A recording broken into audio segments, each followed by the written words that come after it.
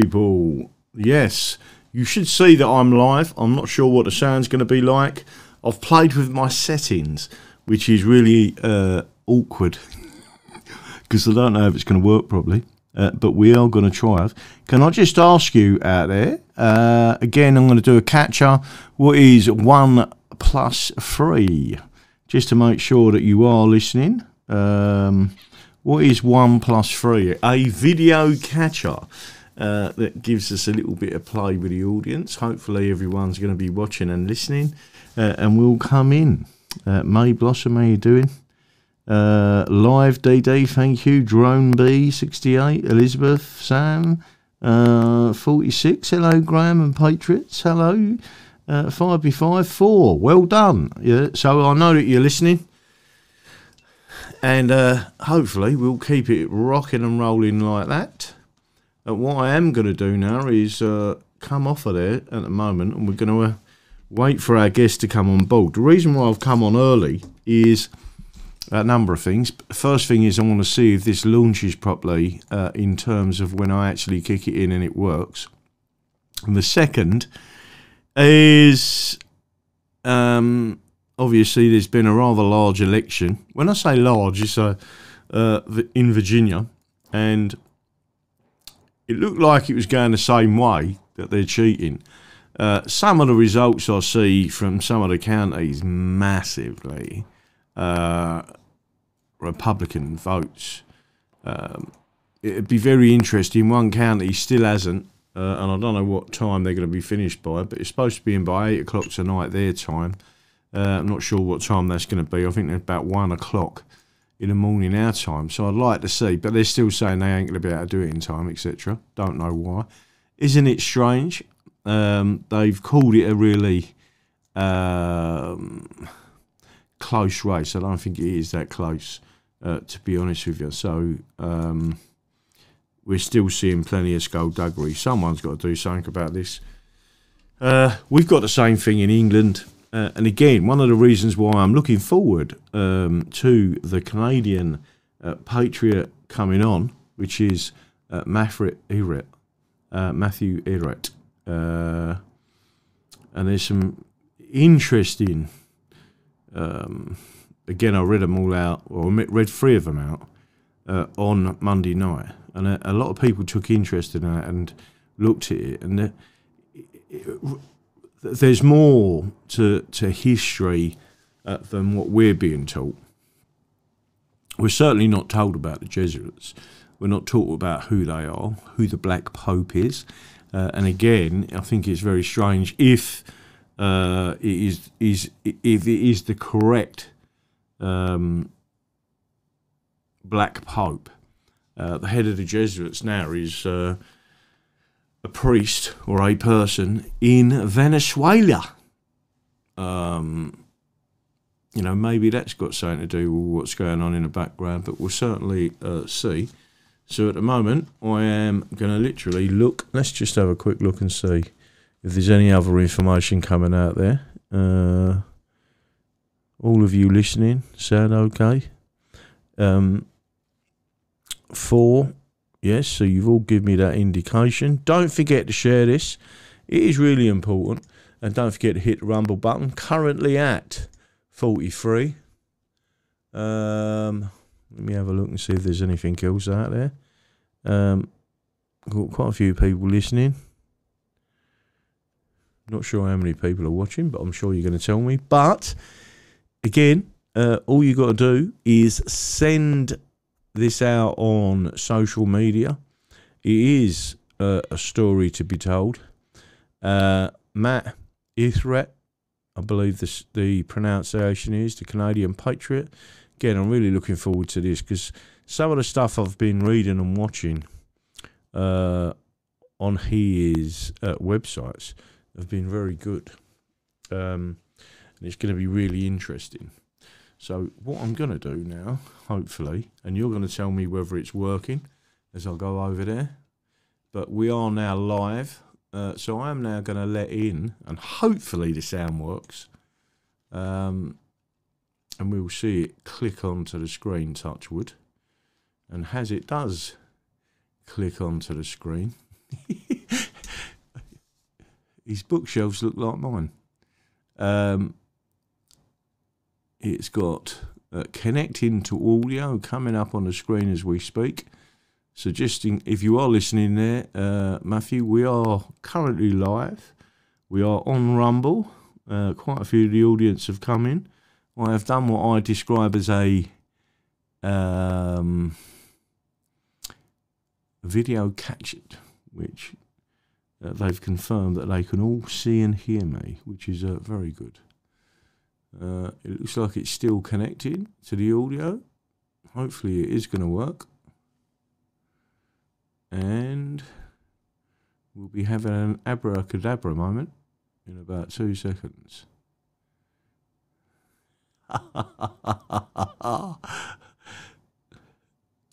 you have just connected Oh, to Graham. audio. Can you hear me? Ah, One, two, Yeah, three, four, five, six, seven. That's it. I can better, hear better. you. All right, let me just uh, turn up the volume on my end here a bit. Let me just uh, make sure everyone can hear us on the channel. Give us a 5x5 if you can hear both of us. So if you just want to give us a quick sound check before we continue. Yeah. Uh, testing one two three one two three. That's it. Well done. Sounds good for both of you. Well, we've got uh, an indication that we're now live. Fantastic. Hey. All right.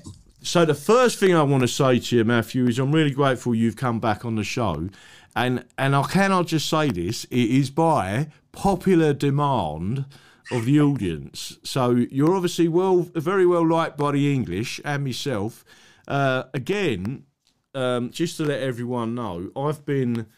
Uh, I'm actually subscribed to two of your websites, and I get the emails coming through, and virtually everything that I get that come through is in it interests me, right? So, um, I wouldn't say that's a it's rare, but it for me to want to go and read through it and see the history of things and and and see if I'm connecting any dots is always a a, a positive. So again, uh, you hit a subject. You've hit a number of subjects, to be honest with you, but uh, the Jesuits. But you just want to tell the audience, in case there's no one out there who don't know who you are from the last time, just want to explain who you are and introduce yourself. Yes, most, most certainly, Graham. And uh, yeah, we are definitely cut from the same cloth, and uh, we are looking at the exact same processes in history. Um, and I think possibly our, our uh, the fact that we both live in the Commonwealth uh, gives us a certain perspective uh, that other people might lack. So um, yeah, it's always a pleasure to uh, to chat with you, and I'm glad that I'm back on. The uh, my personal um, background is uh, I'm a journalist. I, I've written for a, a number of geopolitical magazines around uh, you know Russia, China, the United States based, and I founded the Canadian Patriot Review in 2012 as a as a way to provide a sort of more global historical assessment of where what what is the reality that Canada finds itself within a broader um, schemata. Um, I've published a series of books called The Untold History of Canada to sort of give people a sense of the British Roundtable um, orchestration of most of the Canadian artificial identity that was created for us as a way to, to keep this nation, this monarchy of the Americas, as a sort of wedge blocking a potential US Russia alliance, which has always been at the. It, a source of nightmares, I think, for many very leading, very evil oligarchs uh, from 1776 to the present. And um, um, more recently, I founded the Canadian, uh, sorry, the Rising Tide Foundation as a nonprofit organization with my wife, uh, who's also a writer with me at Strategic Culture. And that's it, you know. I mean, uh, everything flows in between. Well, well, let me tell you something again. I'm really pleased because, and I do think there is a synergy. I mean, f- first of all, we're patriots, right? So you you are 100% what I would describe as a patriot, and you're a Canadian patriot. I'm an English patriot, uh, and again, you've got this uh, distinction that we have to make, and and it is good in a lot of ways that you're Canadian, and you, and you can see. Uh, the very negative British imperialist, uh, colonialist domination of, of, of Canada, right? And with you being out to see that and me being able to see it from an English point of view, because we, re, you know, us as English patriots, we understand that we are um, the last significant mm. colony of of the British Empire, they're, and they're struggling. They know that we know they're struggling. They are. Um, I think one of the greatest things that's happening at the moment in the world is the internet. Um, I class us and people like us like the pamphleteers of the 1600s.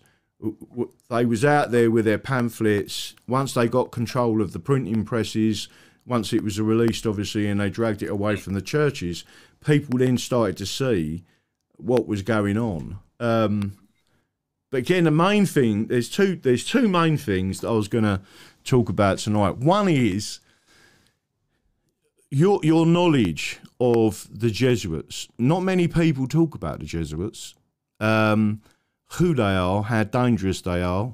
Um, a secret society. Uh, and the strangest thing, I mean, I've often talked about, again, I'll talk about any subject, right? So uh, I've often talked about Israel. Um, and if you like Zionism, everyone's out there blaming the Jews for everything and anything. And then when you look at history, you can also see that there's another group of people that did or did not cause problems, um, and that's the Jesuits. And, and and when you look, I've often said to people, Zion, Zionism is a is a different thing, but it you don't have to be Jewish to be a Zionist. Jesuits can be Zionists. Anyone can be a Zionist. It's the way. It's it's it's what they want and what they and how they want to achieve it, and and the way in which they do it in the background, which no one can really see how they're operating because they're in effect this big secret group of people. But again, I just wanted you to uh, talk to us a bit more. I highlighted on Monday night the first series you did basically on on on uh, Jesuits. What I'm going to try and do, whether this works or not, I don't know, but we're going to try and do it. Um, let me see if I'll get it right on the first page. I think that this was the first one that we did. Let me just make sure I get this right before I um, touch wood. Let's see if this works, and I'll pass the screen over. Hopefully, we're both on the screen, and what the audience should be see seeing is the first one, which I believe was on October the 14th. Uh, you might want to ask ask your audience if they can see it because I cannot see. I can only see you. Yeah, that's right. No, so at the oh, moment they, they will definitely be see. So us are on the screen. Your website's on the screen. I won't be able to share it unless I. It, will it, probably go pear shaped because of the way I'm sharing. Uh, all I'm doing is reminding them of what I read out. So, I, so I'll let you know what it was, and then we can cross over to it. I can show it to you, but I wouldn't be able to use the same screen. The first oh, one was debunking anti-Chinese psyops, social credit as distasteful uh, necessity in an age of asymmetric warfare. Uh, the next one I went through on a Monday and took them all through uh, was debunking anti-Chinese psyop, uh, opium synthetic cults and the haunting of the Taipei, Taiping Heavenly Kingdom, which was on the 16th.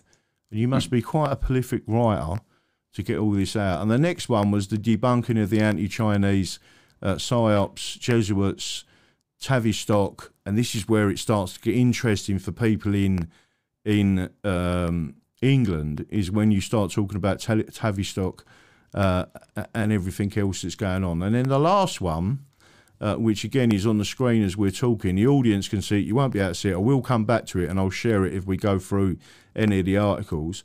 Uh, the origins of the deep state in North America, part one. And again, this gets into something which is the round table uh, mm. and the round table movement, which is something that I, I want to uh, come back to. Let me just clear that off the screen. Go back to my original screen. So it's just me and you back on the uh, screen at the moment. So that's just to let everyone know and a reminder of what we've been talking about. So on Monday night, I went through all three articles. Uh, and read them out to people. People have been driving around in their cars and sitting there in a lunch hour because they've been sending me messages saying they re-listened to the, the show. That's how interesting they found it, right? So right. again, that's all, all, always a good thing, and obviously they know yeah. where you can find the links are in here. But um, yeah, really, just just to just try and tell us more about uh, the Jesuits and, and, and what it what they've been up to, what they've been doing in the background. That's what people are really finding interesting.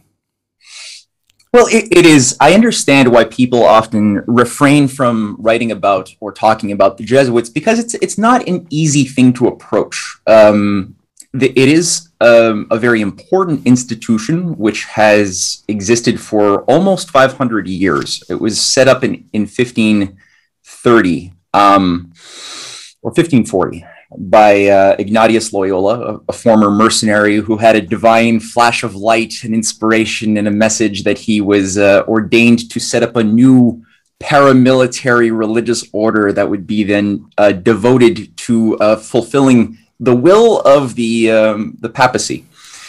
Now that's the, that's that's the mythology that was created and that's been promulgated. And this order is a very disciplined order. And I wouldn't say that every Jesuit is bad. You know, like I, I as you've pointed out, there's a certain um, Masonic type of template, a certain rite of initiation process, a certain internal hierarchical structure.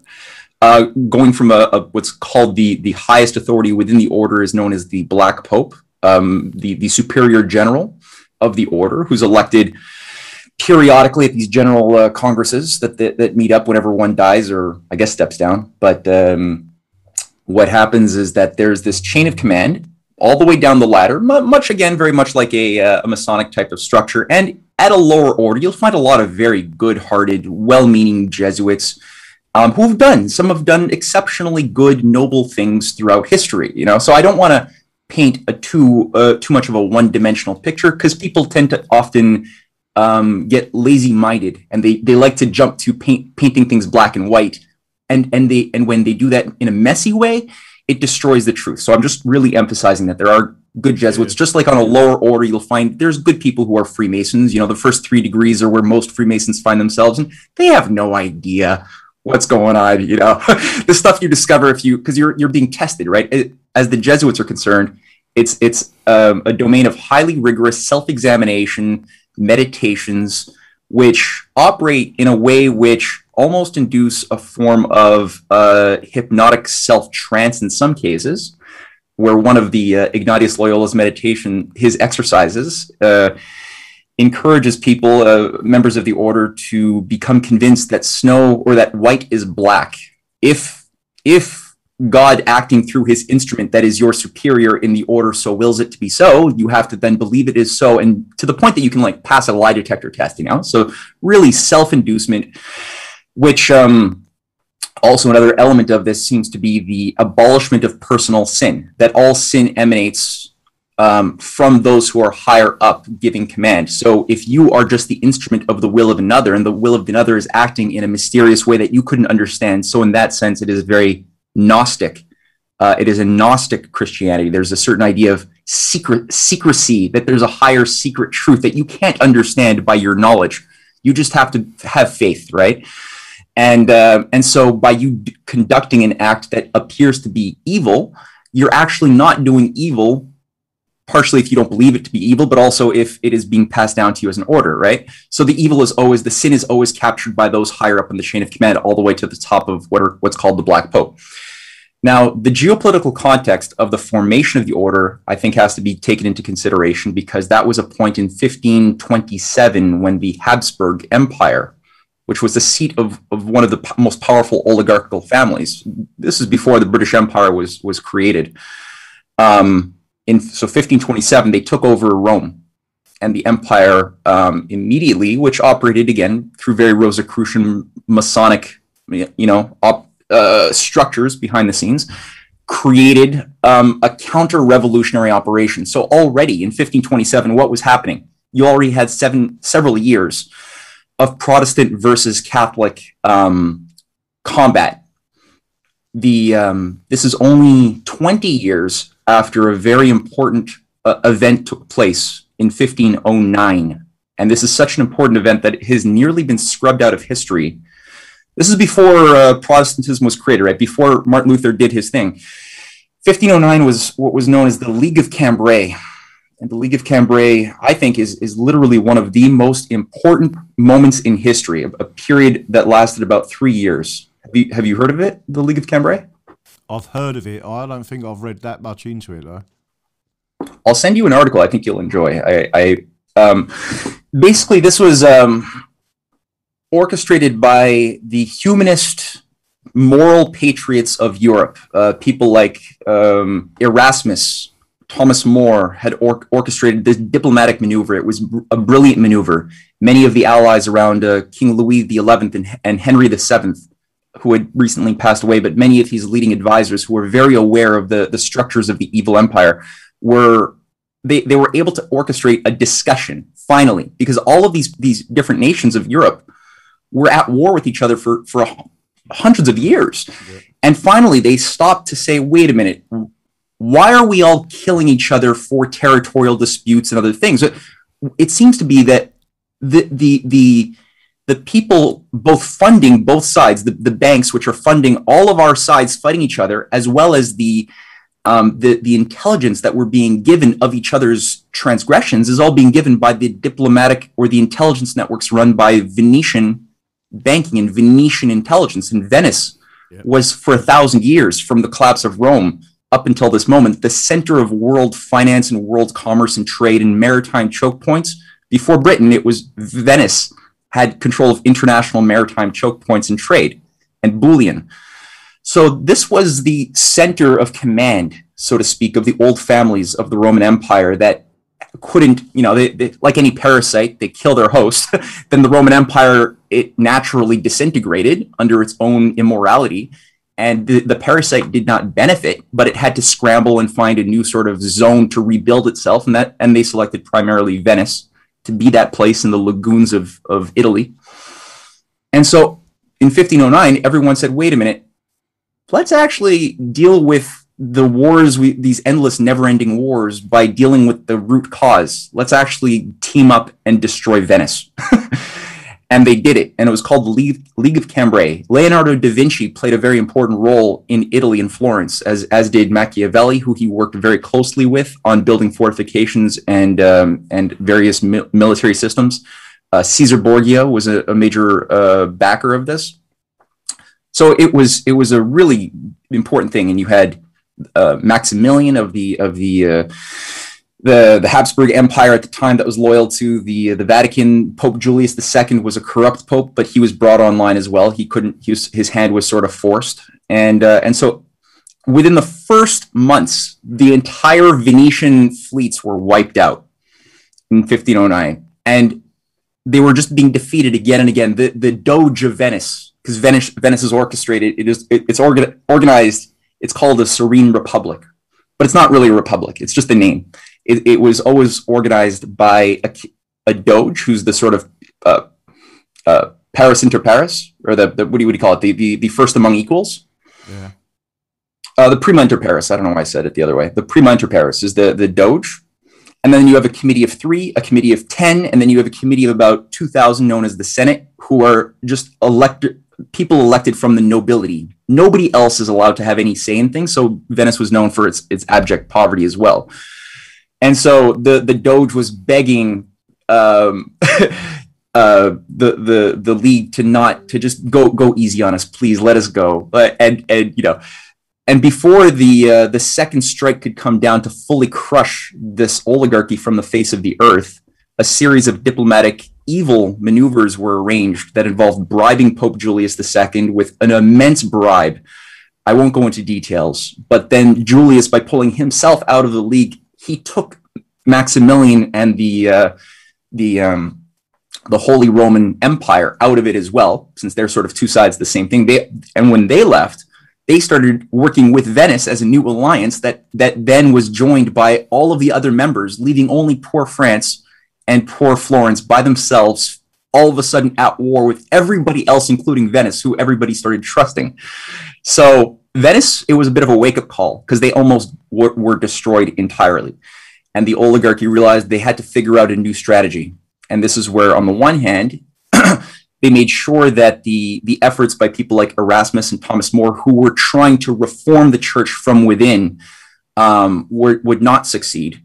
And they did this by divide and conquer. So they started putting a lot of their ammunition, their their uh, their efforts into creating both Martin Luther King's oppositional approach, which is just break off the the church and create a you know an organization of Pro- of Protestants that had rightful grievances. The church had a very very uh, you know very very um, self contradictory set of of of systems, right? And it was a very rigid system. It, it had a lot of problems, obviously. But but Erasmus was trying to ref- to reform it by bringing out the most beautiful aspects of Christianity, saying that like, look, ultimately we believe that mankind is made in the image of a living creator, and thus law and, and economics and everything must flow from that truth and we have to reform things according to that truth and with a, a, an understanding of the geopolitical evil of, of the empire that is existent in the world that we have to be aware of and fight at the same time. And he had a lot of allies but this was all uh, really diminished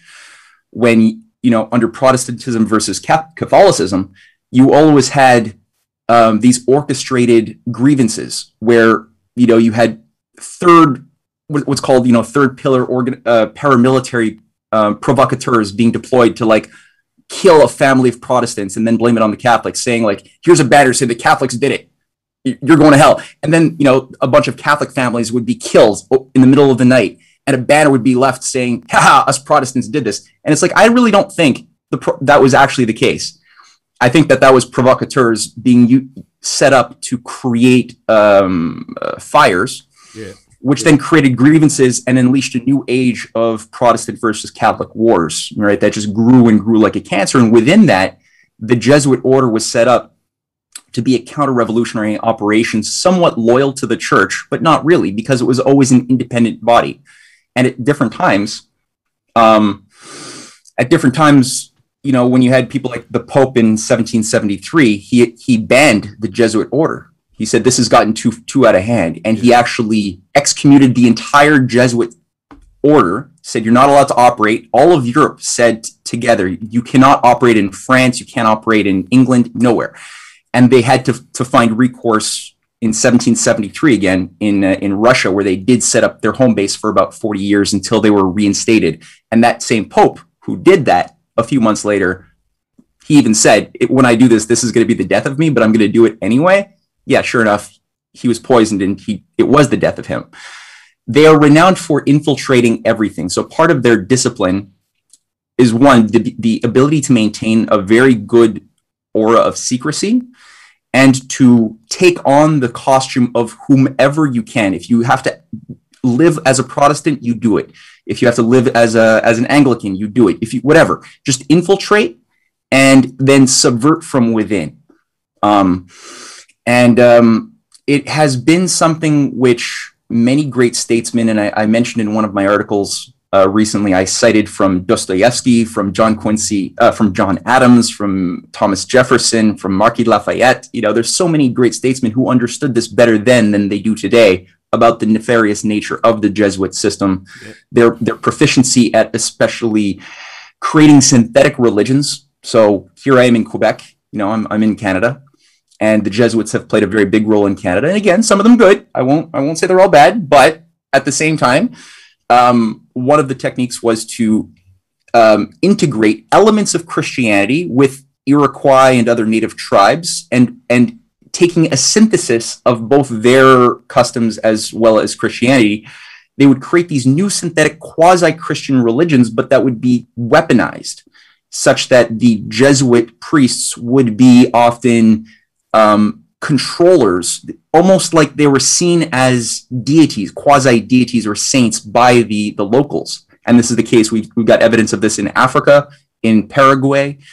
Um, and then using this um, control of, of the group mentality, they would be able to deploy the, the various tribal groups uh, to provoke uh, massacres of settlers, which would then just you know provoke unjust responses retaliatory responses against natives. And there would always be innocent people caught in between and it would bring out the worst in people. And this animated much of the worst um, bloodbaths of pre-revolutionary america um, and also a lot of things in in the uh, Spanish uh, dominated uh, Latin American region as well, and in Africa. Um, not to say any side was particularly right in that. I mean, the the whites did a lot of terrible things. You know, I'm not going to say that it was like the whites were being victimized uh, entirely and they were all uh, on the right. No, that's not true. But all that to say, you have this other um, element within history, permeating history, causing lighting fires, causing destabilizations. And the question is always, why? What to what end? yeah. And this is where um, I tried to tackle this in a variety of ways in the last several articles. But Cecil Rhodes, obviously, when you look at the uh, his 1877 will, his last will and testament, which wasn't his last will. There were several other wills, but it sort of created the manifesto, the, the constitution of what the his order of Rhodes scholars was supposed to be. He's very clear, as is W.T. Stead, who is the head of the Pall Mall Gazette, who, who was one of the early uh, roundtable controllers um, who worked with Cecil Rhodes and Milner. um, what they, what Cecil Rhodes is very clear on, and, and Stead talks about this, is the need to create a disciplined new order for the Church of the British Empire. So to be able to indoctrinate, because the problem was the British Empire's civil service was getting weak. They were a little bit too infested with morality. so some of them still actually believed in Christianity, that they were Christian, but they were supposed to be the uh, controllers of a very, you know, evil international empire. And so how do you rely on managers because it's all about managers. How do you rely on a governor of uh, India or of British Columbia or somewhere else, right, to carry out the type of stomach turning, bloodletting evil that you just have to do at different times to maintain control of that victimized zone you want to influence? You can't trust them if they have access to their their conscience, if they actually believe in the scriptures of Christ, right? Yeah. So Rhodes had to deal with that. That was one of his objectives, along with the Fabian Society, who he interfaced with quite closely.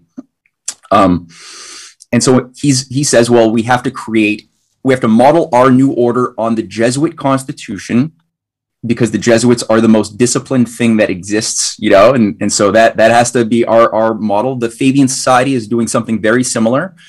Um, and that's the, the Fabian permeation theory. Just permeate everything, right? Wear the garbs of whatever you need to to gain influence, right? And only those in the know will know, and you're going to help out those who are being introduced into the into the game after they've been indoctrinated properly in wherever, Oxford or or the London School of Economics, you know, whatever. You're just and you facilitate whatever the case may be. So, um, Rhodes was was very much committed to this, and one of the things he did while alive as a controller of much of the southern zone of Africa was he facilitated Jesuit um, the growth of Jesuitical operations and missionary uh, and churches in the regions of Zimbabwe, South Africa, which became uh, the, the the Jesuit order became one of the dominant landowners of much of this region of Africa, which again uh, you can't understand anything about the Boer War, about any of, of 19th century African politics or the present, if you don't if you don't have this in your mind in some way. Yeah. Um, and so moving through the, the, the 20th century, we kind we always sort of see the hand of the Jesuit impulse. Um, and there there was something big that happened in the form of um, a grouping of modernists. They, they call themselves modernists because they were, were of the view, they were, they were priests, they were mostly Jesuits who were of the view that um, the role that Christianity, which was too rigid, which is always true. I mean, the, the, the Catholic Church was often too rigid. That's true. But their approach was to say, well, we have to become more creative and more flexible. And we do this by adapting to the fluctuating tastes of the age, the tastes in science, which are. Fl- now, is that the purpose of religion? No, it's not to adapt to whatever the tastes are. Sometimes the tastes are evil of an age.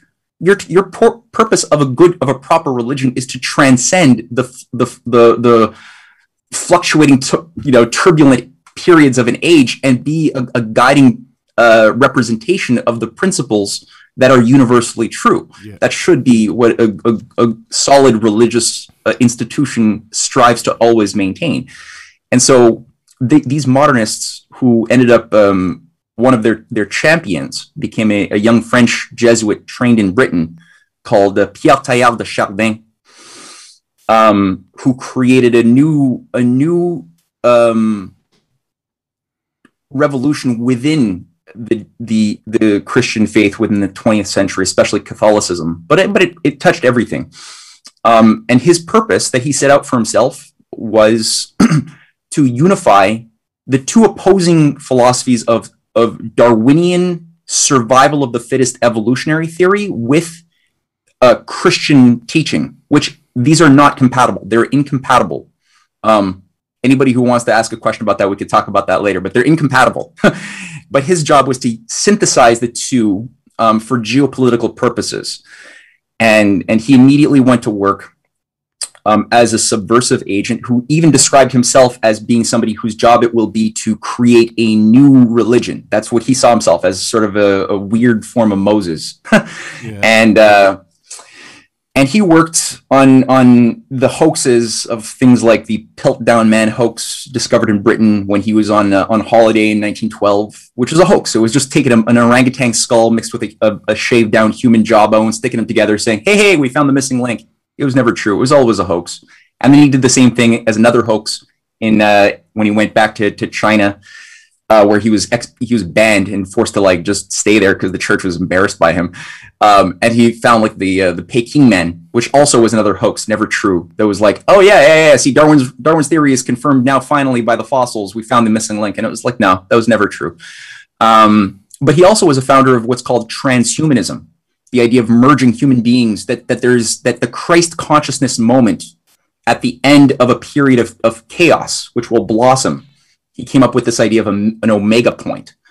And that omega point in the future will teleologically, as the future organizes the transformation of the present into uh, a directionality, will organize society towards partially greater like chaos, but ultimately this this this point of enlightenment, this this again the the modern day transhumanists like like Ray Kurzweil or Yuval Harari from the World Economic Forum, they're big into this, as is Elon Musk and yeah. and uh, all of these creepy creepy billionaires today. Um, that and at this moment in in Teilhard de Chardin's work, and I, I, cite this extensively, his his quotes, and he is a eugenicist. He believes in the in the racial purification of the species to cleanse the the human gene pool and pool and make it pure and merge human beings with with machines. He believes in all that stuff. Even though he says very beautiful things on the surface to attract you, there's this ugliness embedded within the core. And uh, and he's working with Julian Huxley, who who together they're pretty much doing the same thing from different angles. And Julian Huxley is the founder of UNESCO, right? He's the guy who's saying that we need to repackage eugenics in the post World War II age to make the unthinkable become thinkable. Yeah. He's the founder of the World Conservation, the International uh, Union for the Conservation of Nature, which also sets up the World Wildlife Fund with Prince Bernhard and Prince Philip. That's Julian Huxley. Um, he's the brother of Aldous Huxley, who's creating sort of a master plan, a template under, under his Brave New World and Doors of Perception of what type of hierarchical post-human structure that the, the oligarchy should strive for with H.G. Wells, an, another Fabian. Um, so all of these guys are sort of like overlapping and they're, they're ultimately committed to something very, very similar, which is this moment of maximum tension, maximum pain that would somehow mystically, magically cause a bifurcation, a transformation, an enlightenment of Christ consciousness in, in some term, some words, right? at which point a new age, a new order would be created. And this is very similar. If you want to get at the, what's common to all of these synthetic cult operations that are that are planted all over the place, I, I include I include within this the neoconservative movement, which was set up by a bunch of former Trotskyites um, in the 1940s. Um, I, I, include the uh, the Zion, the most radical elements of Zionism under Jabotinsky, the Jabotinsky followers, who again Vladimir Jabotinsky, the guy worked with Trotsky closely under the overthrow of the, the Romanov dynasty, funded by Wall Street and Lord, Lord Milner. Lord Milner himself was funding the Bolsheviks, right, as part of a chaos operation to destroy Russia and to create a new synthetic anarchist movement. It was a color revolutionary movement. Um, all of these guys, uh, Zion, what what is Zionism? What is what are the neoconservatives doing uh, that are overlapping? What was Trotsky looking at? Who was also, by the way, a transhumanist. Um, what were they all aspiring for? Was this moment of maximum Armageddon on Earth, which would then usher in either rapture or Christ would come back the second time in in the Zionist Christian worldview, or he, Christ would come in for the first time under the the, the Zionist Israel you know view which is that he didn't come the first time. So now it's the, it's going to be the time after after the Great Armageddon when the Temple Mount is blown up or something to unleash uh, hell on earth. That'll be that'll be the time when we finally get a purgative violence resulting in finally enlightenment. Um, but they're all sort of like they have that common theme of believing that an increased array of death, chaos, and and up to a, a maximum point of of total anarchy and despair is ordained in a predestined fashion in, in humanity's cards. And that to be, to conduct, to be an instrument of the will of God, you have to not only not try to avoid war or, or such an Armageddon point, you have to actually facilitate that to be an instrument of God because God, God works in mysterious ways. And if he wants the rapture, he wants if he wants the the post millennial apocalypse, then it's in the Bible. If he if it's in the Bible, it must be there because he wants it and if he wants it, it means that's our, our job to be instruments of that that that desire, right? Um, so it's all it's all geopolitically useful because they want ultimately to to reset society and create a purgative cleanse with a highly reduced, dumbed down population emerging out of the the smoke of war. Um, in you know where babies no longer come from women but from test tubes and stuff, you know. Uh, but it's all it's all mystical as hell they don't control the theory that they themselves are committed to. And I think that that's the thing people have to keep in mind. They themselves are victims of their own insanity.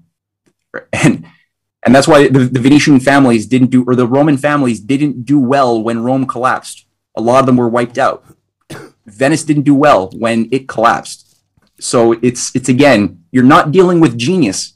You're dealing with something crazy, though it has a lot of, it's very sophisticated I, I agree, and and you and you again you touched on a couple of things there, um, with reference to you know the imperial empire, the imperialists, the colonialists, mm. um, and, and, creating these people that run them areas that are in in effect they they had to show no empathy.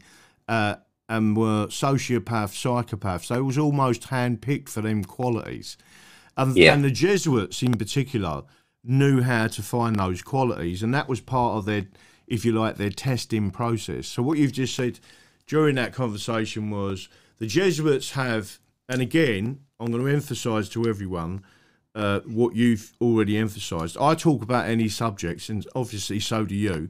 That if I talk about Catholics, it doesn't mean that I hate Catholics.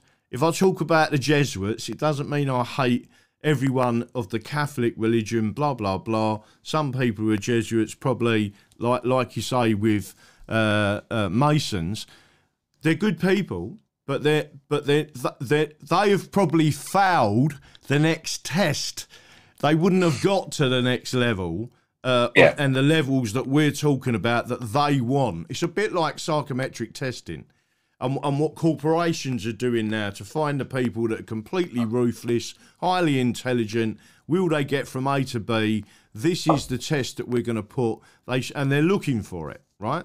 Yeah, it's it's like it's like just to add one quickly to visualize that. At a certain point, you might be presented a little puppy and told, "Okay, now kill the puppy," and two people get the same test. One person says, "No, no, no, I, I, I don't want to do that. I don't think this is right," and the the answer they get is, very good. You passed the test. Walk through this door. And they're like, aha, I, I passed the test. Good. Yeah. And then the other person's like, okay. Yeah. And the, the, the controller is like, very good. You passed the test. Walk through this door. and probably fewer people walk through that door, but those are the ones they really are looking for. You know, that one in a thousand. Yeah, but but they all think they're winners, and but the only ones that are getting you know through the through the actual uh, prop, the proper door, if you like, are the other ones. But get me, let me get back to, to a couple of points, right? So, um, and there is so much that you've written in in them articles. I could I could have you on all night talking about it, but they So the first thing, if we go back to the area of, Venice and the and the uh, and the wars, and, and Europe was at war. I think at one stage, I think it was for something like four hundred. almost everyone, someone was at a war in Europe for four hundred years. Whether it was mm. one lot against another or another, it was continuous, right? There was the Thirty Year War, which was obviously a non-stop situation of war. But you're talking about Venice and the different ways it all come together. There was one particular point in history that I'm always interested in, which was the Glorious Revolution. And the hmm. Glorious Revolution at that time, uh, Louis XIV um, was attacking various people over in Europe. They needed to protect uh, England uh, uh, uh as a Protestant nation with Holland, and he was invited to come over here, whatever. But if you actually read, when you read through the declarations, when he first made the declaration in Holland, when he landed uh, in Brixham in Devon, if you read the declarations, it was all about the, the evil councillors, the papists, and this evil rule that had been bestowed upon England. Bearing in mind there was no, it wasn't British then; it was English, and when you see the depth of w- what they was actually talking about with, uh, in my view, they don't mention Jesuits. But if you understand and then start looking at the Jesuits and you put it together with what they was trying to say then, they said we don't need these Jesuit people in power and we're going to ban them from power. And that is what they did. And then after that, um, you had a situation where they called, call, they called in what we um, the Tories, and and and the and the Tories were basic, basically uh, they wanted complete control, and then again they took power back via the Acts of Union. But it, it's just a correlation I'm talking about between what was going on there with the wars, with with um, the Catholic religion, with Jesuits probably in the background. And again, I think I even sent you an email uh, when we referenced this. Don't forget, Tony Blair convert, converted uh, to uh, become a Catholic. And not only did he convert to become a Catholic, um, if you look back at Switzerland, they had a civil war in Switzerland that was caused by the Jesuits. And at the end of that war, they became a completely neutral nation, said, We're never going to fight each other again. But one thing we are doing, we are banning Jesuits from this nation uh, and they expelled all the Jesuits, right? So again, that was in the 1840s or the 1850s when that war happened, and it was a you know a pretty rough time, obviously, for the Swiss. Yeah. So again, if you if you start to look at that situation, and then you start, it's like history repeats itself, and it's only if you understand and learn history that you can start to see and visualize. I always say if you read the Declaration of Rights and you and you actually read what they said at the time and what Prince William said at the time. I mean, the actual archives, not what some British person has written about. I'm talking about the actual archives. What you can actually see is more or less what's happening now. But it's just a change. It, they've just changed the names, changed the, the people change, but the, the events and what's going on and the evil councillors and everything that's happening is the same. Well, it's like, yeah, a cat is a cat is a cat. A cat today versus a cat in 1700s versus a cat in ancient Egypt is going to behave like a cat. it's going to, there's a certain like essence to the, to the, species character to the, the beast that we're, we're talking about. Um, yeah, I was, I was, uh, I forgot that, that Tony Blair was, uh, was, saw the light and became a, a Catholic. And I, yeah, for sure, like this satanic, uh, nihilistic son of a bitch. Does it, there's no way he's Christian, but but that's the that's the the brilliant genius of this this whole uh, operation is that they put him then into a position where he's like making public debates against atheists, where he is supposed to be the person defending and championing Christianity, and of course he's failing in every single debate. Which, if you're an audience member watching these, you know, different people go at it with this nihilist defending Christianity and just failing with the weakest arguments every time, what is that doing to your faith? Like if you were if you were on the fence, you'd be like, okay, I'm I'm going with the atheist. They, they had a much stronger argument, and that's how you would leave, right? So that it does great damage. Um, which is one of the best ways of, of if subverting something is is if you can't really beat it head on, it's much more effective to get it to self destruct from within. Um, so, as far as the, um, the, the the the 17th century period of Britain, you know, I, I, I find that there's a lot of really good material uh, for historians to really unpack there, uh, looking at the current age and the current fight. And, and for me, the thing that really struck me the most because it's it's always like it's cluttered, right? There's not there's not always the black and white that's so easy to see. Some people sometimes are are nasty people, but they will be inclined to do good at different times, and sometimes good people will make mistakes and then do bad things, and it doesn't. It's so easy for us to just brush it aside and not learn any lesson. Um, but I think from there, the the battle inside of Britain um, after 1688 around whether or not a private central banking system was going to be created, modeled on the, the Bank of Amsterdam, yeah. which was itself modeled on the Venetian um, Levant company and the, the Venetian Bank, um, which was the first private sort of central banking structure that was that was built up. So each place it was innovated and advanced upon, whether in Amsterdam with the Dutch East the Dutch East India Company that merged later on with the British East India Company. Um, and but there was a battle in 1694-95 around whether or not this this private central banking parasite was going to be uh, whether it was going to become the basis of a new empire that was going to blossom yeah. in a bad way, or whether it was going to be overturned and instead uh, a national land bank was going to be created in its stead to fund the development of infrastructure, schools uh, within Britain, as well as infrastructure in the colonies of Britain, mostly in the Americas at the time and uh, I've, I've read some incredible speeches and, and, and studies con- uh, going through the different factions around Robert Harley, the prime minister, uh, who later became the prime minister under Queen Anne, and who worked with very closely Jonathan Swift, the pamphleteer and polemicist, who was an advisor of the government um, against this Hellfire Club Malthusian agenda. Before there was Malthus, there was this agenda. And indeed, in you know, if you look at it, even Queen Anne, who uh, I think this period was the most for me, one of the most rich periods of British history, uh, the humanist faction gained major ground against the uh, the Venetian faction, uh, which that that was what it was known as. Even uh, Disraeli, Benjamin Disraeli, even referred to it as the Venetian faction of Britain around John Churchill, um, who was the Minister of War, a very corrupt guy with his wife Sarah, who uh, her job was to corrupt the the Queen by being her sort of gambling partner and, and gossiper. Oh, yeah. But these guys lived in palaces four times more extravagant than than the, the British than the Queen herself, and uh, it was all a graft.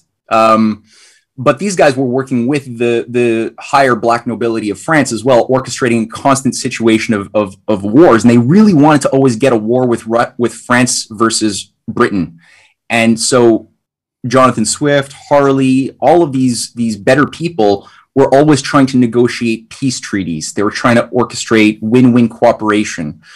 And so when they when they instituted, and Daniel Defoe, actually, the wonderful uh, writer of Robinson Crusoe, was a part of this this positive conspiracy, and he even was commissioned by Robert Harley to uh, draft the first uh, constitution for the National Land Bank in 1696. And it was a beautiful organization. Uh, unfortunately, the bank itself was undermined uh, by its enemies and was turned into a speculative uh, idiot bubble. It became converted into the South Sea Company and, and it became tied to the, the big bubble that blew in 1720. But uh, but it was a valiant fight nonetheless, and this the, it's the it's the substance upon which uh, Shakespearean drama is built. When you start really getting into the the nitty gritty backstabbing and behind the scenes uh, conspiring between these factions, and um, yeah, when you read people like Jonathan Swift, people often read him just for entertainment. But no, if you if you read, not obviously, yeah, mod, modest proposal is great to read uh, because it's it's so obvious of what he's he's attacking in terms of the the, the depopulation agenda. Saying you know like he's he's ba- making fun of. He's saying like Britain is so good, or the British ol- oligarchs are so good at, at uh, killing the poor um, that we might as well go a little bit further here logically and start like finding good recipes for the babies since they're already dead. Might as well find better ways of cooking them. you know? And just it's it's wonderful what he's doing. It's so horrifically interesting and hilarious uh, that it it's it's polarizing. And the person who ends up, um, but if you read um, Gulliver's Travels, he's directly attacking the uh, the the the cultish Gnostic freaks inside of the Royal Society, inside in, in the island of Laputa, the floating island Yeah. Um, Yeah. he, you know, he's he's going on some serious cultural polemics against the empire system. And when Queen Anne does die, and it's likely poisoning, as her many children who were likely all poisoned, um, which the Jesuits are very good at doing. Uh, one of the, the her key um, uh, the, the the the the physician who is who is tr- treating her to death um, is Daniel Malthus, the, the the grandfather of Thomas Malthus, who comes up with the population control theory a, a century later. Um, but Daniel Malthus is is likely part of this. I mean, he undoubtedly killed her and and others. Um, yeah. It's funny. It's funny you mentioned Queen Anne because um, I'm actually putting a case together at the moment because the uh, British Electoral Commission, which is part of the British establishment, won't allow us to register our political party, which is the English Constitution Party.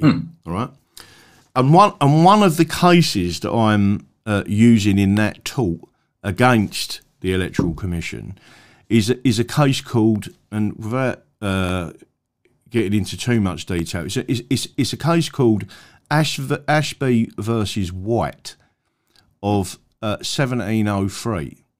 And it was uh, a, uh, the Chief Justice was uh, Sir, uh, Sir John Holt at the time. And the case was this is the interesting part the case was about suffrage, in other words, voting um, Mister Ashby went to vote, and a, and a police constable at the time uh, for the king and the and the and the uh, and the and the county that it was in stopped him from voting, and his name is Mister White. So Mr. Mr. Ashby sued him basically and said, "I've got the right to vote." Right. So anyway, it ends up at the time, and this is in 1703 it wasn't a Mickey Mouse case. It was massive news. It was in every newspaper every day. Obviously, they didn't have the TV. It was being debated every day in the Parliament and the Lords. It finally gets to court. Uh, and the court and, and Sir John Holt said basically uh, that it's an Englishman's right um, and because of the Glorious Revolution and the Bill of Rights, it's contained in there, which is freedom of election, uh, and the fact that he has the right to vote. And, what, and the argument at the time was uh, what they, some people were saying, yeah, but there's no actual injury, so therefore there is no remedy. Um, then that needs to be a loss. And as John Holt said, there is a loss. It's a loss of his right, and and that man didn't have the right to take it. That is an injury, right? and and that's it. It's now English constitutional law and, and, and well known in tort law. But the point being, and this is what uh, gets back to your about Queen Anne. It went before Queen ha- Queen Anne in in the Council of the Lords or um, the Privy Council, and she listened to it. And she, evidently, she was quite good. She used to go along to these and listen to it, and she would uh, understand. She found it so abhorrent that the Commons uh, was debating a basic right of an Englishman to vote. She prorogued Parliament and shut it down. She said, "You will not debate, but there is no debate about a basic right of an Englishman. Who do you think you are?" Basically, so she actually come down on our side. And again, this is where we get into the separation of powers. Good, a good queen, uh, a good, a good set of judges, if you like, separation of power again. And then, and they've both stepped in against the Commons and said, "You're not doing that. You're not debating whether an Englishman has the right to vote or not, or whether it's an injury or whether it's not. It is an injury. That is their right." So it was Queen Anne that did that. But just uh, it, some of these things that are really interesting. Again, um, more again, you you've mentioned the Round Table, and you you mentioned someone in your article, Arthur Milner. And the, Al- and the- yeah, Alf- Alfred uh, Alfred Milner. Yeah. yeah. So Milner in in there is something in this this country known as the Milner Group. The Milner Group, again founded by uh, Alfred Milner, is the equivalent to the Fabian Society, but on on if you like the Tory side. So you've got a Tory and a Labour, Yeah. but they're all sorts. Yeah. Um, Exactly. so, so are you saying that Milner started the Round Table, and that is part of the Jesuit system. Okay. Um, it what I know from evidence um, is that it was modeled on the Jesuit structure, the Je- Jesuitical, Jesuitical constitution. Um, and we could talk about Tavistock at some point too, if you want. But I Yeah. just remind me, okay? Um, the Cecil Rhodes, when he died in 1902, he ordained that all of the wealth that he uh, got by by stealing from Africa, as well as a lot of input that came in from Nathaniel Rothschild and, and a variety of other uh, financiers in, um, you know, London. This this became known as the the Rhodes Trust, and the Rhodes Trust was overseen by his colleague Lord Alfred Milner. Um, both of them were race patriots. They were rabidly uh, racist and uh, big eugenicists who believed in cleansing the world of all impure races. Um, not to be unfair to the to the white race, he also believed in cleansing, killing a lot of white people too, um, if you were not deemed to be of uh, sufficient breeding stock. Um, they they were also really into young boys, and they they had these weird predilections, like like in Milner's group. Uh, the the closest sort of coterie of conspirators were these young men called Milner's Kindergarten, who were these um, sociopathic uh, controllers of uh, of South Africa, where he was based in managing the Boer Wars and the putting down of the Transvaal uh, Republic ups- uprisings. Um, and and you know they, they innovated a lot of blood curdling techniques in, in terms of like concentration camps that were later like taken up by Hitler uh, later on, but it was really innovated by these guys pouring poisons into low, uh, indigenous drinking water systems, you know, torture techniques, all this stuff. Um, Churchill sort of cut his teeth working in this environment as well. But people like uh, Leo Amery, um, Philip Kerr, who becomes later on the uh, the British ambassador to uh, Washington, a major controller. They're all they're all people who are controlling the the the, the trust. But also, there's two branches of this trust that overlap with the Fabian Society operations too, because they operate primarily in Oxford. One is the the scholarship fund that that talent searches and then brings in talent from around the Commonwealth um, to be indoctrinated um, and then deployed back, you know, to fulfill their duties in whatever country they come from. Later on, it was more recently expanded to also permit, uh, you know, black and colored people to also uh, receive these scholarships. For a long time, they were not allowed, for obvious reasons, because um, they're racist, right? Uh, Yeah, but yeah, but yeah. the, the other the other branch was um, a series of think tanks that became known as the Round Table. Um, it was originally a periodical series of journals that would come out to coordinate grand strategy amongst the different parts of the empire. Because in the days before internet and you know easy access of, of information transmission, you had to sort of get people on the same page. And the journal became the periodical with its outlets in Toronto and London. The outlet later on in, in Washington uh, became dubbed the Council on Foreign Relations, also sta- staffed by Fabians and Rhodes scholars. Yeah. Um, mostly that, that became sort of the nexus of control for the US deep state, which Hillary Clinton still refers to as the mothership, the CFR. Yeah. Well, Um, again, that's yeah- something that we want to get onto. I'm going to bring that up on the screen in a couple of minutes. But go on. Sure, yeah, and and so yeah, Milner is a, a key figure um, up until the point where he dies. I think in 1926 or something. He's always like really at the top of the the food chain here, orchestrating the uh, the little there. You know, there's a little British British coup in uh, in Britain that ousted uh, Herbert Asquith, who didn't quite have the stomach to to carry forth a lot of the the the post-war aims. So they wanted to be in the driver's seat to shape the post-World War One terms. Um, and that's why Milner, with uh, Lloyd George, who was a part of this thing, uh, brought themselves into the, the power position. And they were the ones who were then able to use that, that station to uh, set the stage for the Versailles Treaty, to, to control the Versailles Treaty agreements, the unpayable war debts imposed on Germany, which were always designed to crush Germany and, and really set, set the stage for another war.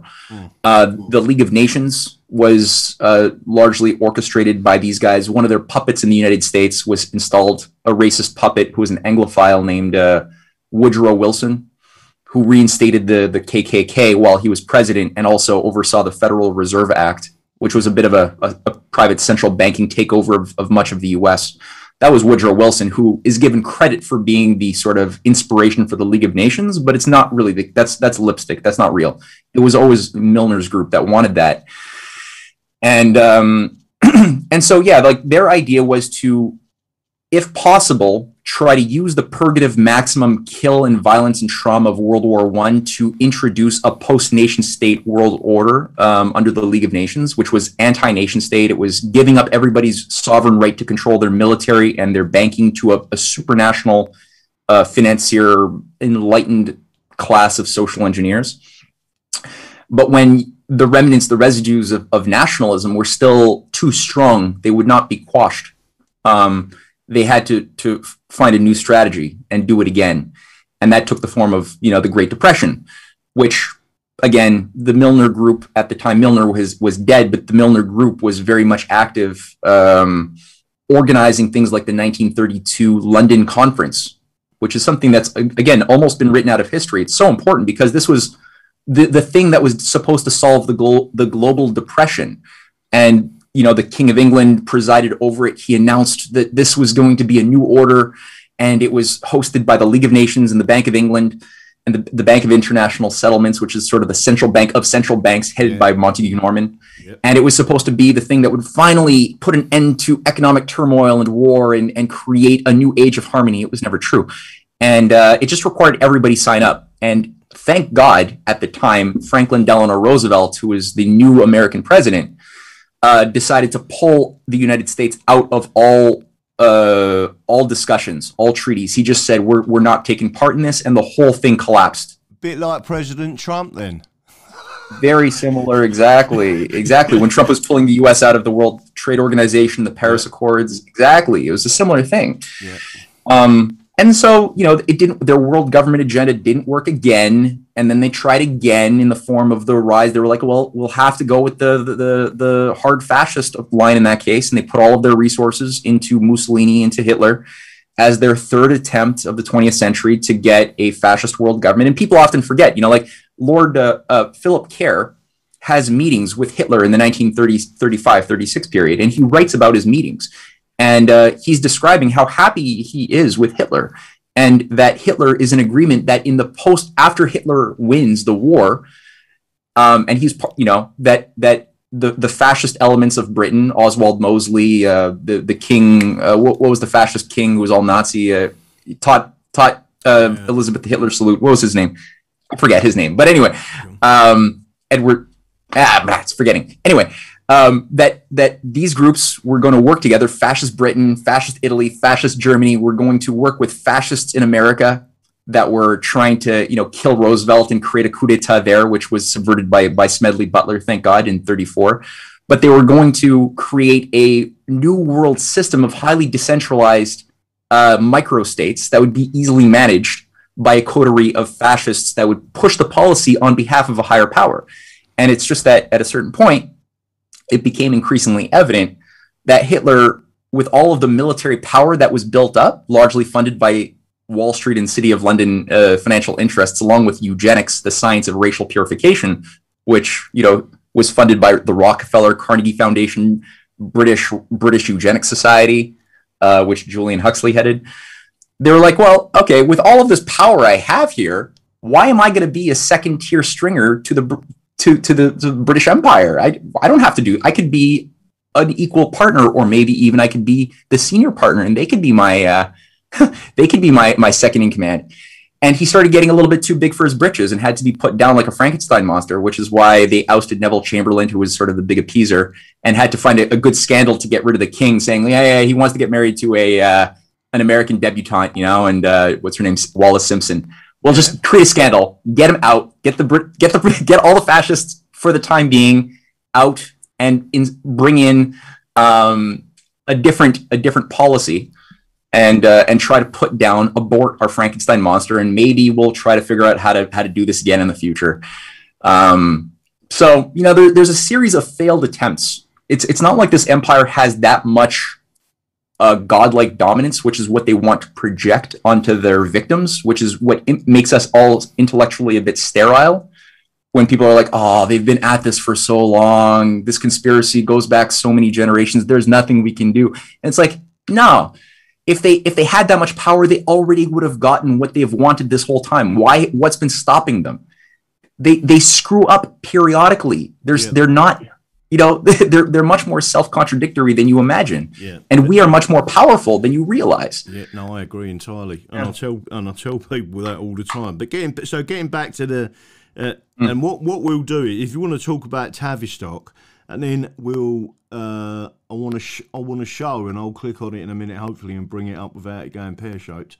Uh, mm. Your latest article, um, and we, will sort of finish on that. But on the Tavistock uh, situation of who these people are and how they also use this uh, Jesuit again psychology, the the the the um, behaviorism, which is what they target, and also the I forget what the word was you used. Um, there's a special a psychoanalysis of people, and and again the Tavistocks have sort of honed this, and it and it comes all it, it come from the Jesuits, and we've and say we, not me, the British have honed it.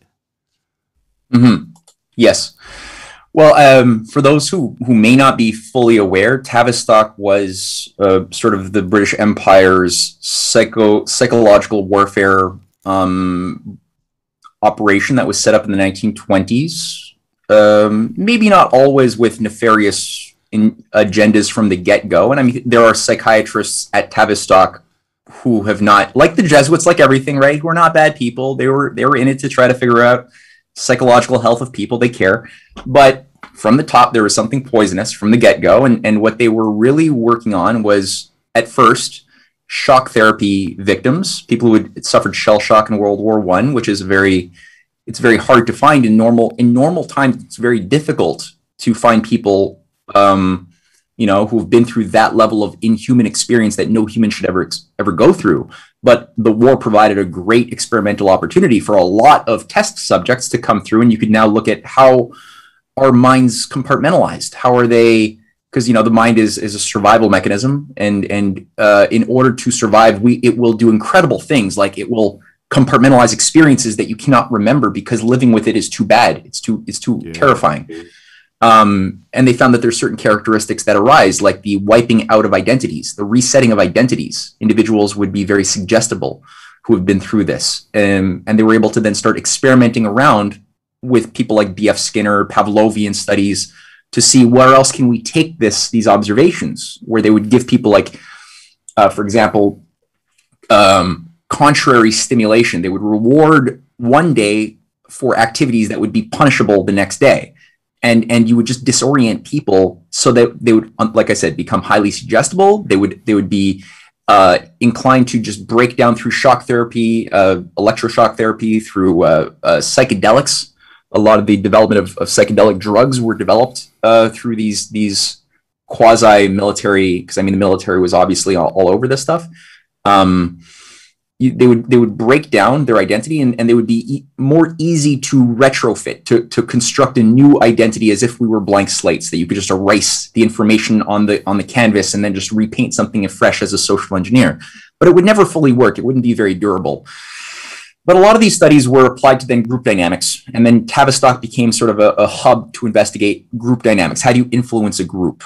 Um, some of the preeminent um, theorists and, and psychiatrists who uh, led the group were people like Brigadier General John Rawlings Rees, who called for international shock psychiatric shock th- troops to be deployed to various governments to to organize national cultural policy and other things.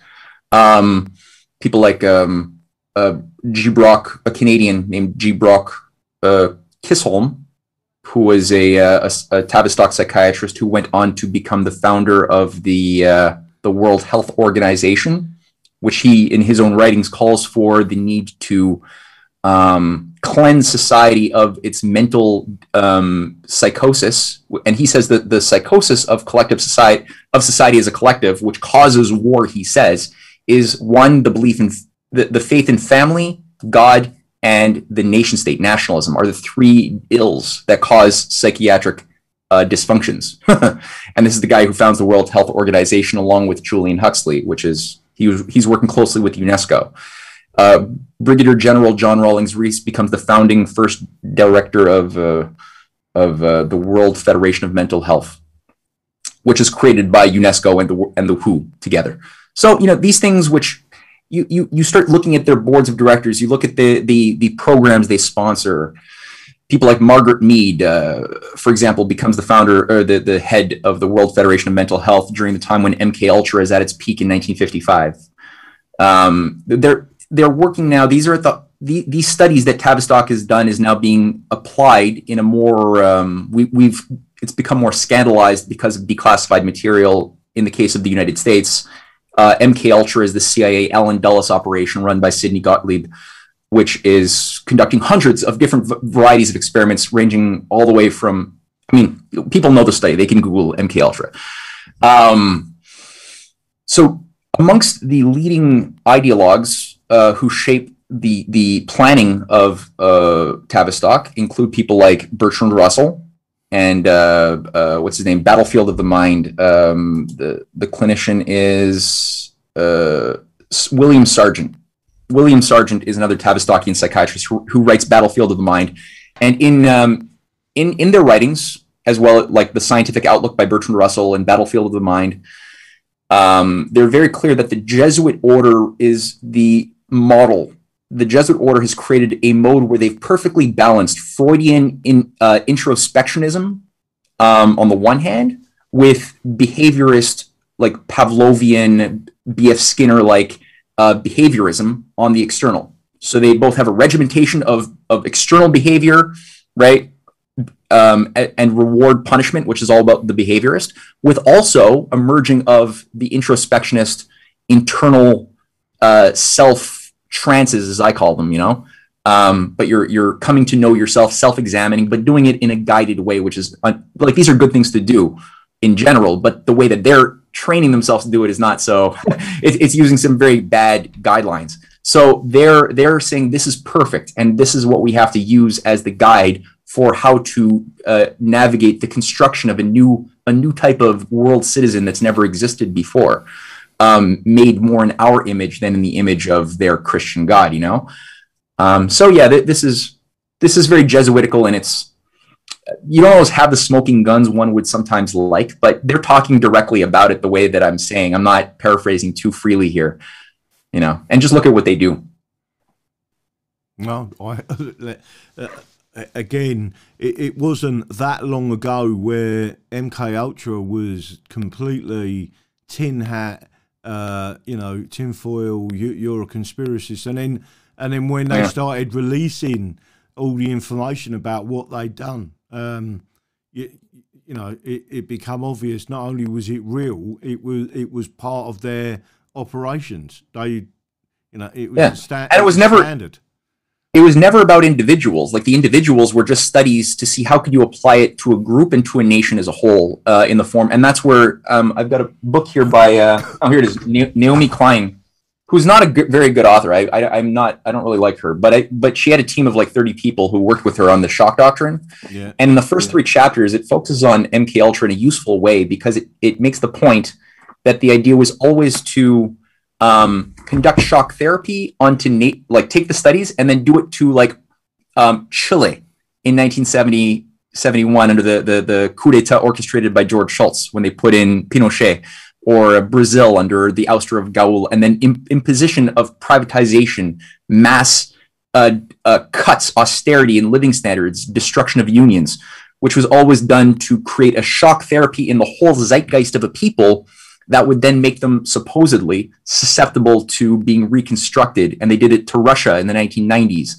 That's what they're trying to do. That's what's governing the Great Reset I- ideology of the Jesuit Pope uh, Francis, who's called, you know, for greening Christianity yeah. in our modern yeah. age, using a lot of these these same techniques that we're talking about of say, speaking all nice on the surface about love and our and the poor and and and this is why we should all rally around our full support to the Great Reset in COP26. You know, it's like whoa, that was a bit of a leap you just made there. But what they're trying to do is they're trying to say we need a shock therapy for the world system with a with a controlled demolition of the economy, the breakdown of living standards. Right, people will go into a a survivalist mode of like what you see on uh, you know open up walking dead on netflix right? Or a lot of these post dystopic shows that are constantly put into our, our heads yeah.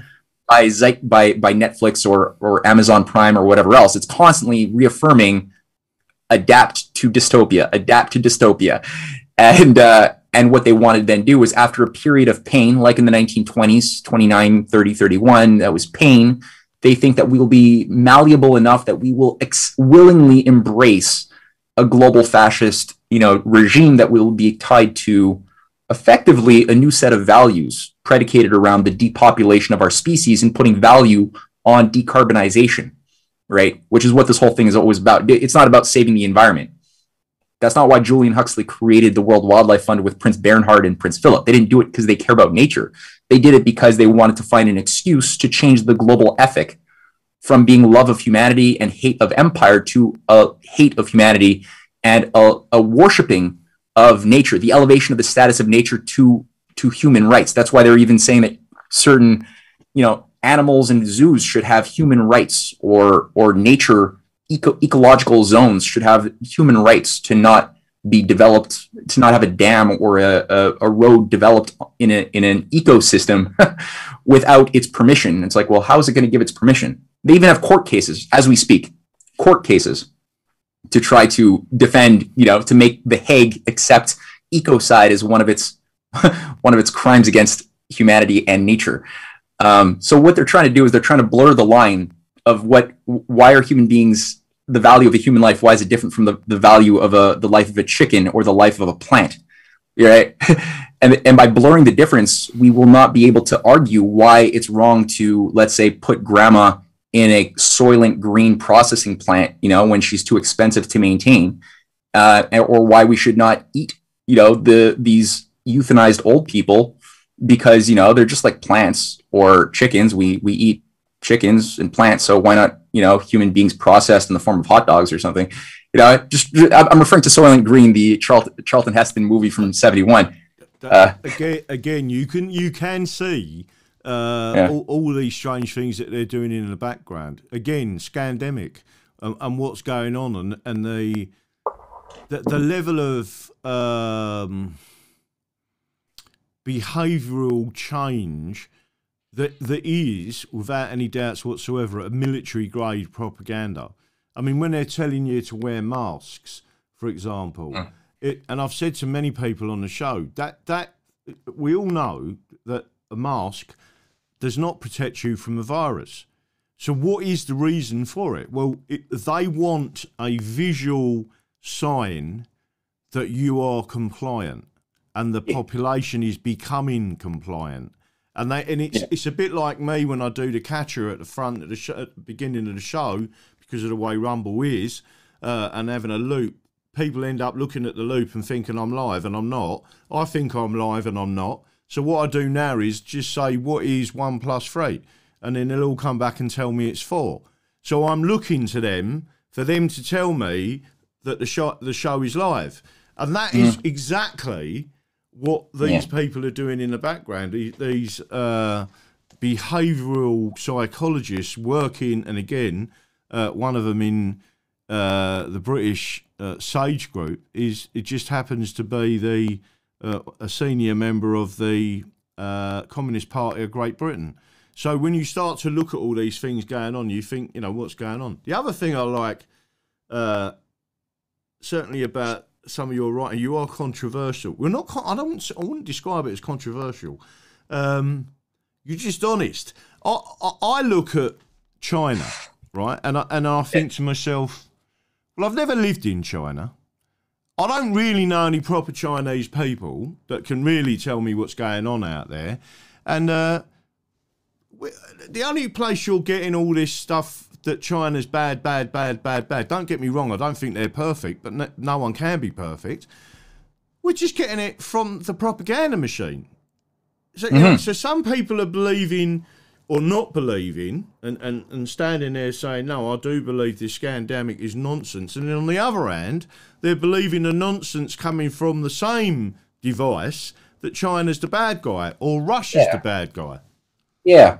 Yeah, I know. I, I well, I think that that's why the service you're doing by providing people uh, a certain understanding of the the source and characteristic of this evil parasite. Like, wh- wh- where is this thing historically located? It's not. It. Th- there is a profound ignorance that people have, unfortunately, and it's not their fault. I mean, there's a lot of effort that's kept them from knowing how the British Empire, the, yeah. the Milner Group, all of these things never really disappeared. It didn't go away after World War II, and now it became all of a sudden a, a one dimensional American empire that took over. That's the popular story. That's a myth.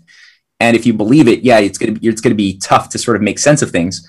But the, the empire was was never Britain, it was never America, it was never China, it was never Russia, it's never a nation. It's always been from the time of the Roman imperial oligarchs that ran the the pantheon of cultish religions that were that had licenses to operate in, in the Roman Empire and and that ran the deep state of Rome, right? That ran uh, that ran the banking system. That this is the thing that that ran that was the whore of Babylon before it, it sort of took over Rome. It was primarily located in in, Babel, in Babylon and it was a series of of mystery religions, which is the origin of today's like you know um, modern Scottish Rite Freemasonry structures. Uh, it's the inducement of trances to go into self hypnosis. That's very useful as part of filtering out the talent for a, a, a sociopathic elite, the, the, manufacturing of sociopathy effectively, or the perversion of your passions into unnatural domains, which is another precondition for being a trusted component of the machine. You have to have certain um, very pervert, inverted passions that are very opposite to what human beings organically yearn for uh, when they're babies to become as adults. So this thing, it goes back. It's always been above nation states. It's still there. Um, it still has the same MO of population reduction, stupidifying people, dividing to conquer, um, absolute un- unchallenged hegemony, one world government. That's always been the thing. British Empire wanted it. Before that, the Venetian Empire wanted it. They kind of had it.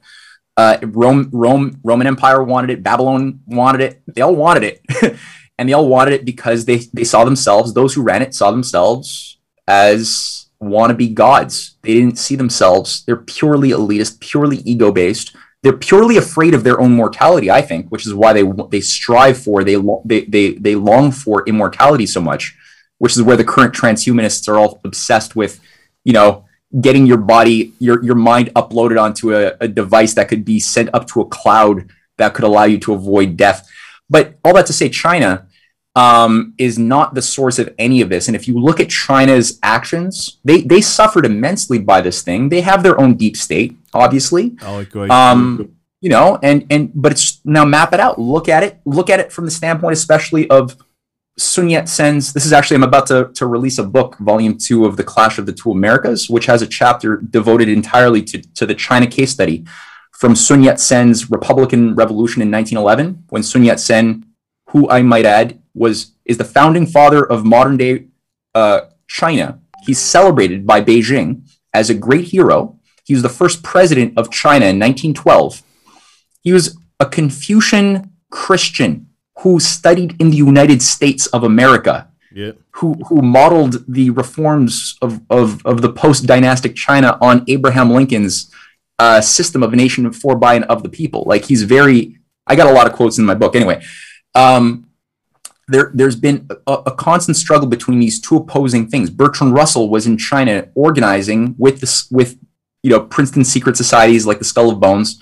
They were organizing uh, to create um, an indoctrinated elite class that would then be beholden to the doctrine of the the Tavistockian type of clique that wanted to reset civilization, and and they largely were they they won many battles with the uh, leading up to the Cultural Revolution, which was a bad rep. I mean, this is not a revolution. That that was the British oligarchy getting what they wanted uh, from 1966 to 76. And the problem today is a lot of people have been led to believe that that is that that that decade of of hell, where they literally turned the youth against the the elderly, against Western civilization, against their own civilizations, against Buddhism, against Confucianism. Temples were torn down, and we were told they were all told we're going to create a new age from scratch, blank slate, shock therapy um, schools were emptied out. You weren't allowed to like most people weren't even allowed to, to teach anymore. They had to like all go to the farms and like work their hands with no no technology.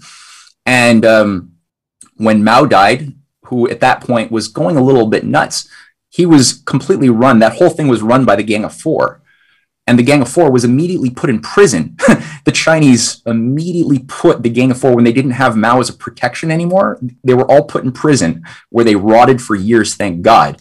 And then the enemies of the Gang of Four, who were more noble, like the followers of Zhou Enlai, um, like, uh, for example, one of his key uh, uh, partners was Deng Xiaoping, who became the guy who led China for much of the, the 1970s and 80s. And there was a fight between these two different George, pro George Soros, Milton Friedman, uh, new reformers of China versus the nationalists who did not want to, you know, commit suicide or kill China. And they had a fight, and it resulted in, in Tiananmen Square, which was an attempted color revolution um, to overthrow the Chinese government and install the George Soros uh, puppet Zhao Zemin, uh, not Zhao Zemin, uh, uh, Zhao Ziyang, as the, the the the dictator of the people in power after after the color revolution. But it was it didn't work out that way. China was able to stay in control. They kicked out George Soros. They kept control of their national bank. They did not let their bank be privatized the way we all did and the way Russia did in the 1990s. Yeah. And there's been a constant fight between still these factions are the, the, the the corrupt deep state is not fully cleared out by any measure but xi jinping is a patriot. He has if you look at what he's done don't look at what epoch times or whatever the bbc or whatever is telling us to think. Look at what xi jinping has done in terms of the biggest crackdowns on corruption in history um, i mean what he did to jack ma should send a signal because jack ma Jack Ma called for essentially a coup d'etat against China at a, at a public speech last year. Yeah. And Jack Ma works with the, with the World Economic Forum of Klaus Schwab of Davos. He's, a, he's a, a trustee of the World Economic Forum. So, you know, Xi Jinping has cracked down on this thing and is building the biggest infrastructure projects in human history that are actually provably, provably elevating people out of poverty. Let me tell you something. I don't yeah. disagree strangely, with anything you just said there, I, I, and that's what I like about you. You actually make people think. I mean, I, I actually, um, the Epoch Times, I, I quite like the Epoch Times, and I, and, and it's a bit like the BBC, right? Um, the BBC are fine if if you're watching it in Russia and it's about Russia. They're probably telling you the truth or, or as near as the truth as possible. But if you're watching it in the disunited kingdom, I can tell you now, you'll never listen to more lies. It is the most evil propaganda machine that's ever been put together. My, my my my wife was was with her mother. They went on a little bit of a, a vacation a couple of years ago, uh, 2000 and whatever, uh, and they, they they went on a tour of China. And uh, when they were staying at the hotels, she was watching uh, CNN in China, and she's like, "Oh, I didn't know that CNN had had an operation in China." And she was like watching it. And she she told me it was remarkably sane. It was like everything they're saying is totally reasonable. That's what they're projecting to the Chinese. But what they what, when you turn on CNN here, like, that's total that's garbage. The bit. That's the bit. So I used to be on Russia Today every Friday. Uh, I had a little slot on there. They used to come and pick me up with a limo, take me up to their place in, and I used to have the most almighty straight conversations with people. So much so that one person actually sent me a text after and said, When you called that guy a ponce, I spat my tea out because it was live on air and, and Russian TV was all going, Love it. Keep going. Just tell the truth, right? And that's all I was doing on there. And it, but cut along story. And, it, and by the way, the person I called the ponce was Sadiq Khan, uh, the, the the the mayor of London. Yeah, yeah. and, and um, you know, people loved it. What did they do? They, and I'm not suggesting it is because just because of me, right? I'm not suggesting this at all. But that, but Ofcom then threatened to pull their license. Uh, and said, you know, if you keep doing all these things and having these different, because we was getting a voice from Russia today yeah. talking about yeah. England, they mm. threatened to pull their license and take them down. And and what what the British did to Russia today was then said they pulled all their banking facilities, right? So they couldn't pay their staff. So so so what did Russia do? Well, Putin said we can play at that as well. So what did he do? He pulled all the banking facilities for the BBC and said, "You want to keep going? I don't mind." Yeah, and, and in the end, they reinstalled the banking facilities at the moment. Obviously, Russia, I think there's a, uh, I don't know where Russia today are, are at the moment in the Ofcom uh, facility. But again, I mean, they wouldn't have me back on there because I know that they they probably get their license pulled. But um, that, that's the, that's the sort of difference about what we're talking about, and set, certainly that's why I love this platform, Rumble, because people like yourself can come on here and we can have an honest conversation. Um, mm-hmm. And and it doesn't mean that you're right or I'm right. We're both entitled to be wrong. Everybody makes mistakes, and I have done in the past. And I've said to people, if I made a mistake, I apologise. Right? You don't have to drag out an apology and you know all these really arrogant people always think they're right. History, in particular, um, you know, there's so much history. Not one person can memorise every element of it. Do you know what I mean? You're obviously going to get dates wrong or something wrong about a certain element. You may got yeah. two bits mixed up. That's that's. But the conversation has to be had, and that's mm-hmm. and again it is uh you know some of the stuff that you talk about and some of the stuff that uh, that we read. Let me just see if I can show. I'm not even sure if this is going to work. So if it ends up uh, blowing up my um, my system. Um, let me see if it comes up on the screen. It's really slow. I'm hoping I can show your. I'm going to see if I can share this. There's no sound to it, but I'll share. I'll share it anyway. Touch wood, you should be able to see that on the screen, or everyone should be seeing something similar on the screen, um, which is the origins of uh, the deep state uh, in North America, part one uh, the round table movement. So again, if anyone wants to come in and have a look at this, that's that's something that's been sent, and I've had a, a read through it. But there's many many articles uh, that Matthew has done, uh, and again, written books, etc. Uh, again, let me just uh, click off of that at the moment. Hopefully, everyone saw that. The system was under a lot of pressure. Um, I can I can see it. Well, that, if you saw it, they saw it. Um, so again, I'm just going to say to you, I'm really grateful you've come on. I want to finish on this one thing. Let, I'll tell you what, I should have really uh, showed this one element so people understood this. Um, let me just see if I can share this again, and then I'll flash down to the bottom. Uh, and we'll see. Well, we won't flash down to the bottom. It's probably at the top there as well. Let me just share this one with you because this has been about the Jesuits, and again, I want to repeat. Listen, uh, I don't like Islam, uh, but that doesn't mean I hate Muslims. Um, I talk about Catholics and Jesuits, and it doesn't mean that I hate Catholics. I was married to a Catholic for 30 years, right? We never had any issues with religion or anything else in our relationship. Uh, in fact, we didn't have any uh, relation uh, relationship issues. I don't think. Um, so let me just actually show you this one element here. And on the screen now, what you'll see now, again, I don't normally refer to Wikipedia, um, but I will show you on the screen. If people want to research this, you can see how far they go back. Uh, Superior General Society of Jesus. That's the uh, Society of Jesus. Is the is the long name if you want for the for the Jesuits.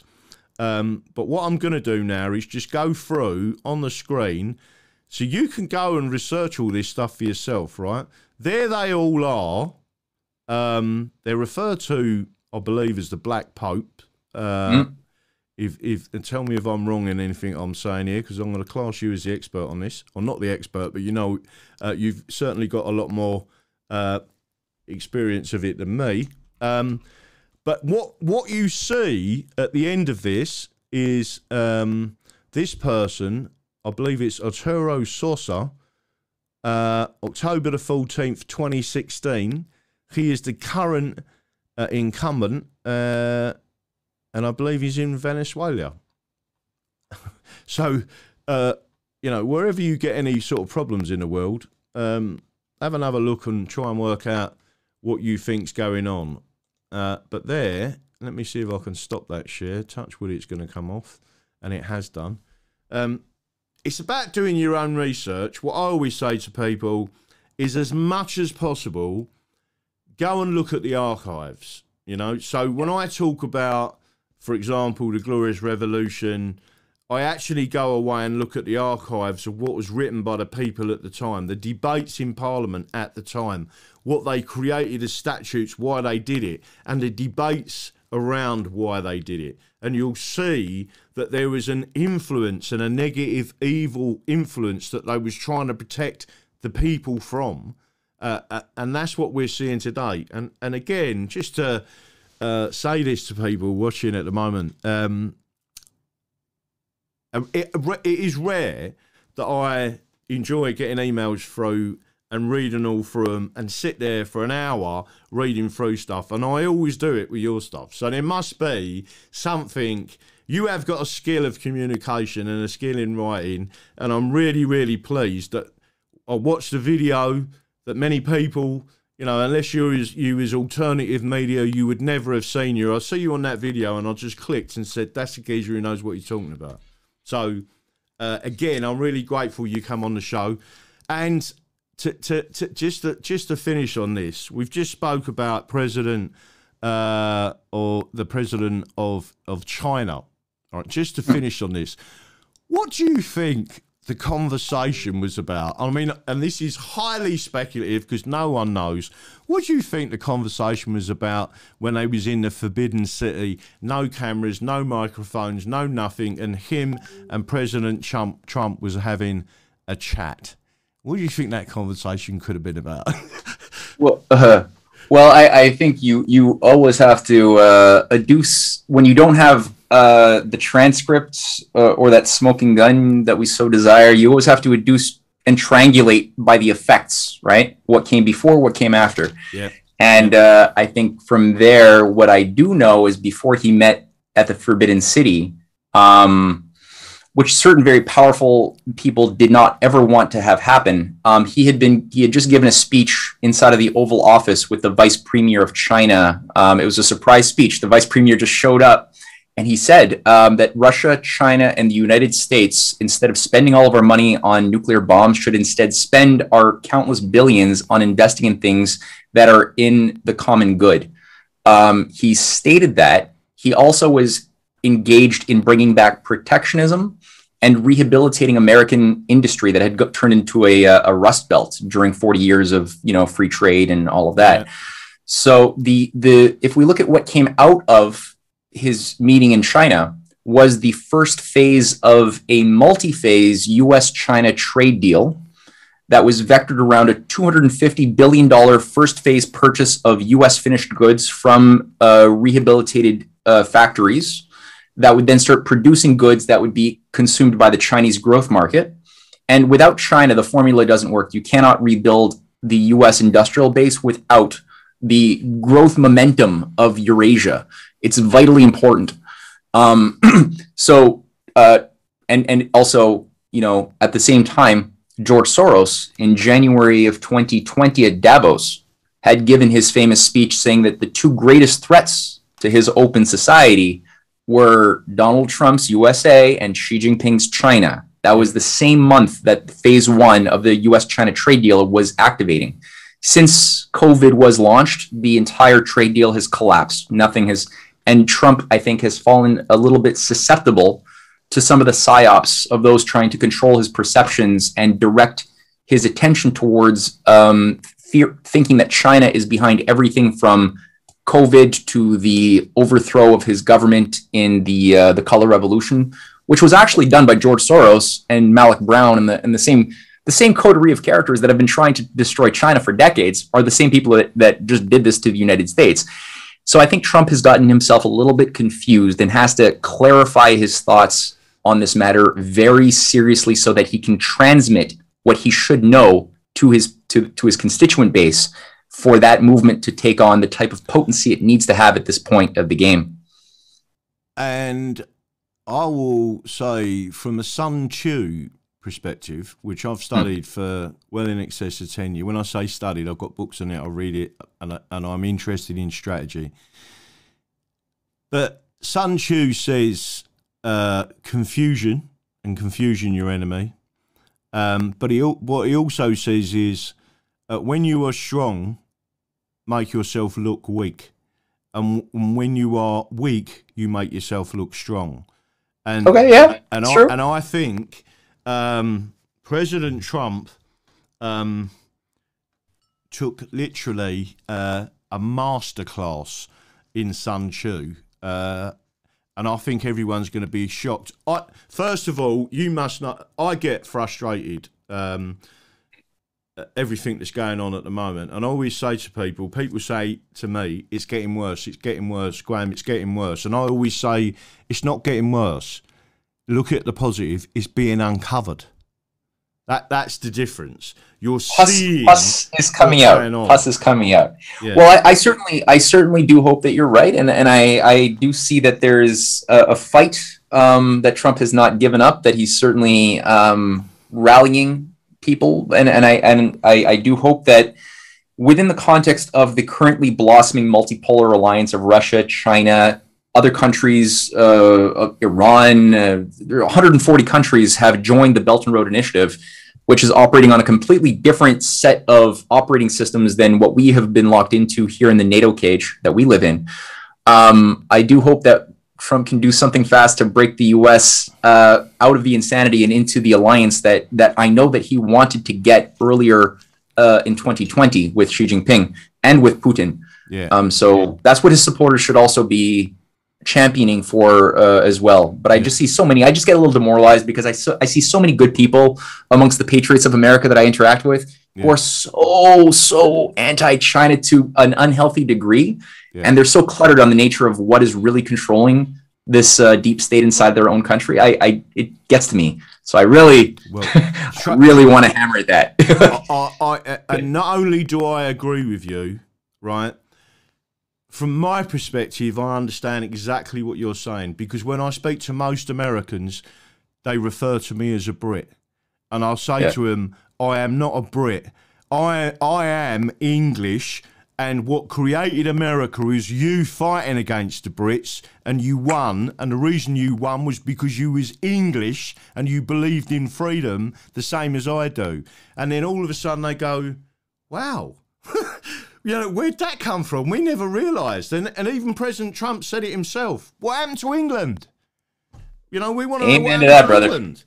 Got to make England great again, yeah. And, and China's trying, you know, Xi Jinping's trying to make China great again. Putin's Yeah. trying to make Russia great again, and everybody. That's the way a world community of, of I cooperating agree. nations can can exist. Yeah. Is if we're all trying to make do the best for ourselves, and also that that means also trying to create a good neighborhood for our kids to live in, Yeah. a, a- an international community of of cooperation, right, and trust.